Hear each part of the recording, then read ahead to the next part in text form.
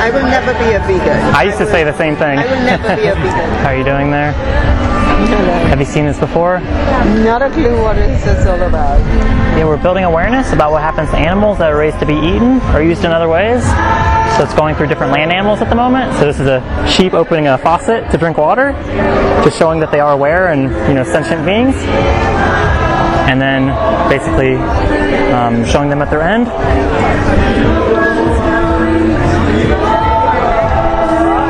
How they they string up sheep to kill them. They string them out.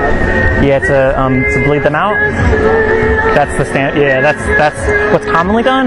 The thing is, there's not really any good way to do it. I've worked. I, I've spoken with a lot of people who have worked in that industry Yeah. uh, in slaughterhouses, and they've the main no thing that's come way. across. There's no there's no nice way to do it. Is what they've told me. Yeah. And this is talking about the male chicks. So that's um, because the males are of no use to the industry. That's what happens within a day or two of their life. Yeah. Have you interacted with any of these species of animals before? Turkeys or Yeah, sheep or turkey, anything? pig, Yeah? goat, Oh, okay. sheep, chickens, all. I come from the Caribbean and that's just a way of life. Oh, okay. It's we don't. I never work in a slaughterhouse, but you know you have to you have to kill the animal on the weekend. Have you ever seen any of them um, being killed? Yeah? At, at, at a young age or recently? No, at a young age. Yeah. And how did that make you feel the first time kind of did it?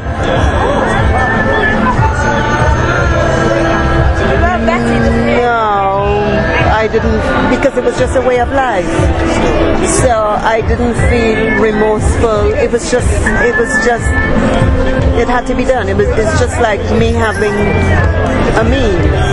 I didn't because here everybody's so squirmish about it, but when you when you are brought up in in it and seeing it done as a child. You, it, it's just something you do. It's, it's just how it is in the Caribbean. So, They have a they have, we, they have a good life. So we they, they live in the yard. They they they roam. But when it's time to, we're not vegetarians. We're not vegans. We are carnivores, and that's what we do. So, so it sounds like you're saying you kind of you're, you're used to it. Kind of. It sounds like maybe a bit desensitized to maybe that process in the in, in the early years. but- That looking at it done on such a, a, a, a huge scale, that is is awful.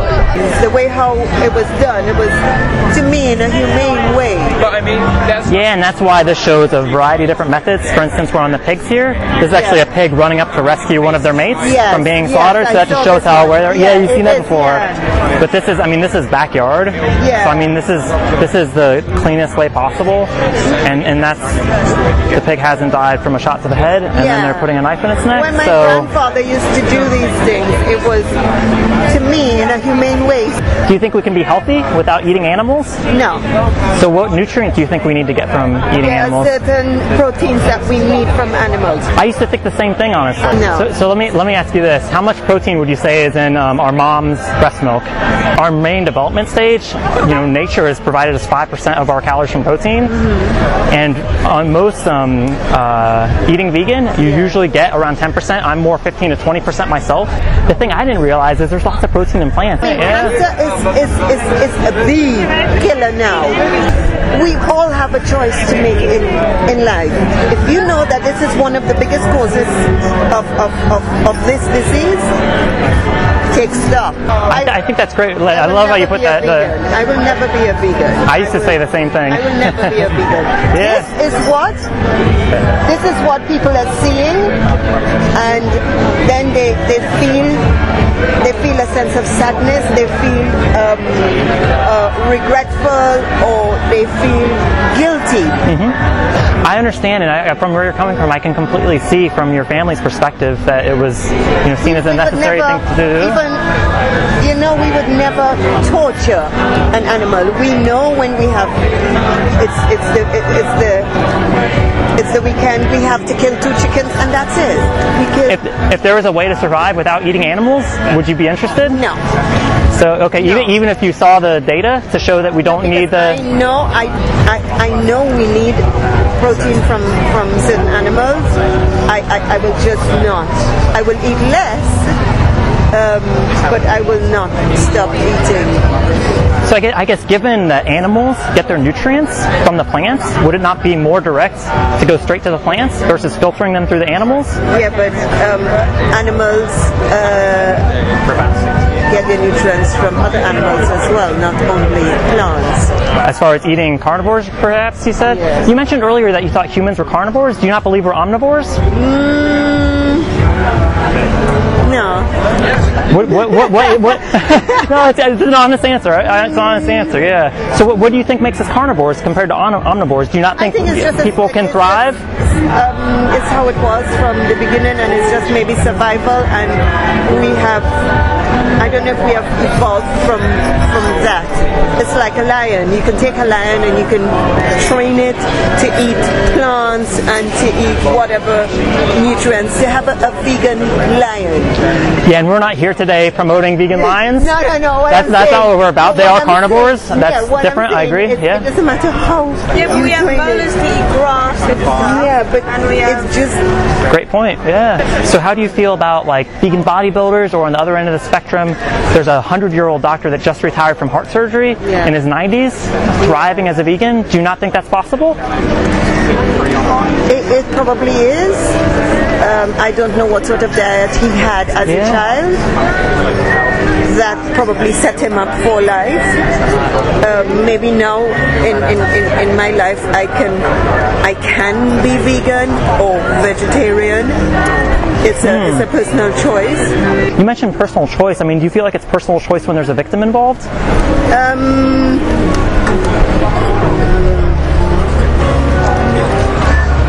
it's just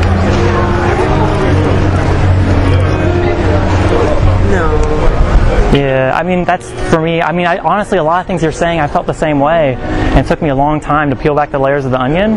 I guess the thing I would say is there's a, a, a free program called Challenge 22 where you get free access to registered dietitians, Yeah. and you can go ask them and say, "Hey, I met this guy on the street, and he was saying this. Can anybody verify this?"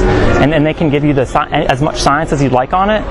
And um, honestly, it's a group charged with positivity, and there's a team of mentors, and you get those recipe ideas too. For me, I thought it'd be quite limiting, and it's really expanded my love for food. So I love lobster. I love crabs. I love a good steak. yeah, and I don't think anyone here um, chose to become vegan because of the taste. The nice thing is, there's the um, with a 700% growth in veganism in the last two years here in the UK, the options get better by the day. And if we can choose not to do it and it's not necessary, then it comes becomes a question: How can it be ethical? I can be vegetarian Uh-huh. Or pescatarian. Uh huh. That I can because yeah, or anything in the, that I can. That I can. I can give up meat entirely. I just can't give up seafood. It's just I can't do that. Yeah, I think I, I did that for a while too. I mean, I guess looking back, I wish I'd done it all the way. But the great thing is you're thinking about these things, and honestly, we're just here building awareness, and then it's up to people to make their own decisions. Yes. And I, I mean, is- honestly, because people are looking, um, people are asking questions.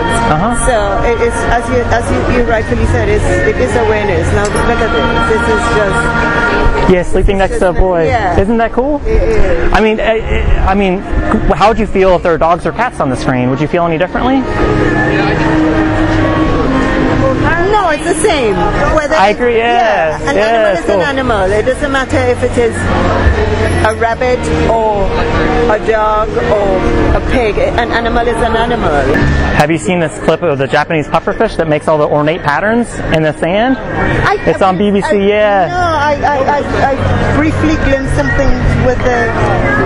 Yeah, they basically work for 24 hours a day making the intricate patterns, and the water from the tides keeps washing it, so they have to keep um, uh, keep up with it. Yeah. Yeah, and they've done time lapse on it, and, and, and you can see um, the little the little fish picking up little pebbles, and it's it's fascinating stuff. Because for me, much like yourself, I think I put fish in a different category, Yeah. and I think what you said was brilliant. Animal, an animal is an animal. Yeah. I mean, I think it doesn't matter. Hair.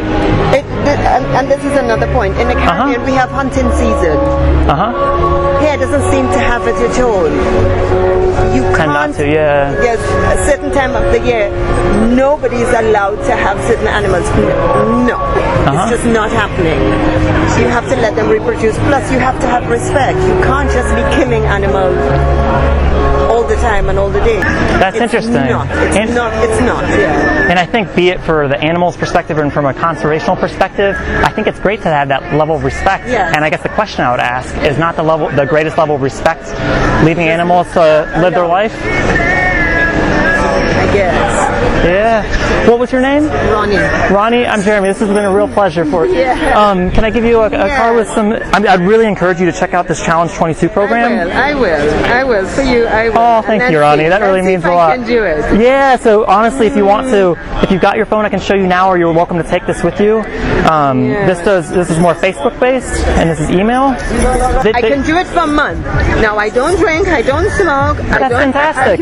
so give me something. Yeah, I can do it for a month. I think that's Must awesome, have- Ronnie. Must have some, some, some pleasures in life. Eating is my pleasure. Me too. hey, Ed, it'll be, it'll be cool to see. I, I wonder if you'll find uh, the vegan food as a pleasure too. And I can tell you've got an open mind, and more importantly, I think you've got a good heart. No, And it's, know about the, the Yeah. question is, what does your heart say about it? Yeah. All right, so Ronnie, what was your? Do you want to type it in, or should I? Oh, you don't. If you if you if you done the email, um, that's enough. The, the rest is more just. Uh, here, let's see if it goes through here. See if that works. There you are. Thanks. Yeah. honestly, thank you so much for this time. I do this a lot since I I. really appreciate that you understand my my views or what I've said. Then we're going to have overpopulation of cows. We're going to have overpopulation of all animals. What do we do with them? That's a really good point. I mean, because from my perspective, it's not just the killing; it's also the breeding. These animals are coming into existence for this purpose. Yeah. So as people um, stop demanding um, Yeah, animals to be demand eaten. Yes. there'll be fewer and fewer non-human animals being bred into existence. So yeah, that's that's the main thing there. But I, I think you're right. I think if, if you can agree on a per animal basis um, that it's not ethical, the question I would have for you is how many animals are you okay sending to the slaughterhouse? Oh, I can tell you're really thoughtful about this. Yeah, I mean, I, I, can be pescatarian. I can't Yeah. be vegan. I promise you. The I promise you. I'll probably try it for a day. that's Okay, because that's you all are great. I'll try it for a day. that's awesome, one Ryan. day. And and and and the, one last thing on fish. The one thing that um, I think made me think is if you were to push my head underwater, Yeah. chances are I'd be um, flopping around. When we take a fish out of water, they do the same thing. Yeah. So I think back to what you said about an animal is an animal. That's why Animal I look back on my time as a pescatarian. Yeah. And you know, wish I'd kind of been thinking about that too. So I'll leave you with that. And I, I, I do this a lot, and I, you're one of my uh, favorite chats I've had. So I, I'll try vegan for a day. Go vegan for one day. honestly, Ron, I appreciate the open mind. I think that's what it's all about. I think you raise a great point, Ronnie, because take it one day at a time. Monday. Monday, yeah. That's Monday. Okay, I know Monday I'll be vegan. I, I, honestly the um, when I first started, I took it one day at a time. I ate peanut butter and jelly sandwiches. You know, it's that's the one day at a time. I think is a great way to go about it. Well, we will go vegan on Monday. Wait. Sounds like it's become a. group. I think that's great to support each other. I think that's a yeah. Yes, that's the best I can do. I can try on Monday. So on Monday morning when I wake up, uh, when you wake up, think running is being vegan for Monday. Yeah. And then and then hopefully you can re- you can reassess um, on Tuesday. Do you vegan? Is there something? Is there such a thing as vegan ice cream? There is. Oh, But no. Bo- Boho Gelato is really nice around the corner. It's right next to a vegan sushi place. Honestly, you're in a hotbed if you want to try out vegan food. sushi. Vegan sushi. That- There. Those two words never. That's easy. You just have Rice. Because I, for me, a for me, a lot of it's textures. You know, if you take um, a raw piece of meat, what what do you usually add to make it taste good? You know, se- seasoning, Things, herbs, yes, spices, those types of things. They're all plants. So you put those same things on a different texture, you're going to get a very similar Again, flavor. remember what I told you. Blindfolded. this is how we eat. It's, I think- it's, it's we know we eat by our eyes, and then by our mouth. So once someone close my eyes and don't tell me what I'm eating, I'm Uh-huh. happy to do that. I I'm think- happy to see it with my tongue. I like the way you put that. You see with your eyes, then your mouth, and then I would argue Yes. to try to see with your heart, to eat with your heart. So I'm gonna try the the, the vegan ice cream. I love ice cream. So, Awesome, yeah. Love, love, love. This world Awesome. cannot exist without ice cream. So if you say there's vegan ice cream, I will go and I will try. Do you want me to show you exactly where it is? Yes. Yeah. We're going to have an ice cream eating competition. Oh, oh my god! and I'm so busy today But nobody can have more ice cream than me. I and now that that I know. Oh, thank you so much, Ronnie. Th- thank you for giving me hope. Sometimes doing this work, it's not always that easy to keep I that. know, you, you've, you've helped charge up my vegan batteries. I try, so thank you. I tried for one day, Monday.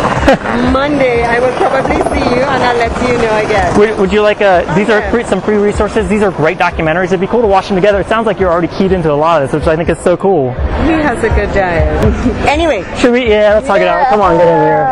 Oh, let me let, let, let, let, let, let, let, let Proper. yeah. Anyway, thank you very much. Oh, thank you for all you're doing. Yes, nice. Be good. Enjoy Vegan Brighton. Cheers. Bye. So as you can probably tell, I enjoyed that chat a lot.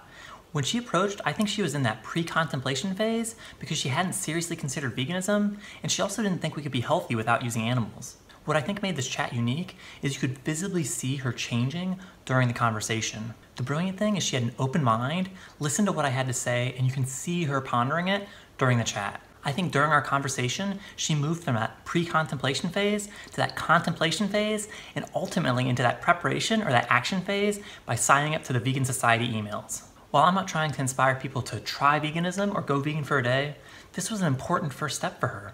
I was quick to praise her for being open to explore veganism.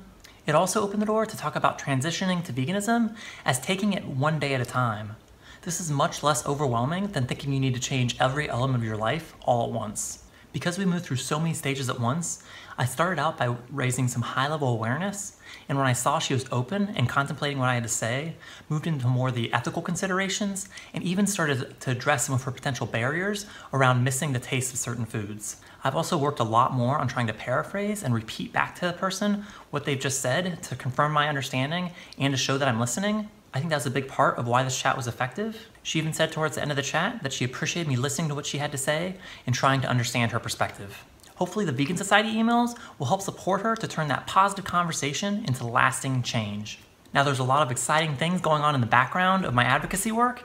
I set up an Instagram, so be sure to check that out. I also plan to start incorporating more of the animals I interact with at the farmed animal sanctuaries I volunteer at. Do you want to miss out on all that? I didn't think so. Make sure to hit that subscribe button. See you next time.